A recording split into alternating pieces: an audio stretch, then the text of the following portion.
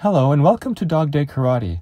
This is just a short video to let everyone know that I've started a karate blog to complement this channel. The blog is simply called Cadorin's Karate Blog, and it will be a place where I can share, in written format, ideas and other material relating to the philosophy and technique of karate. I put a link to the blog page in the description of this video, so please check it out and click the subscribe button on the blog page if you would like to be notified of new posts. Thanks for watching, and I hope to see you at Cadorin's Karate Blog.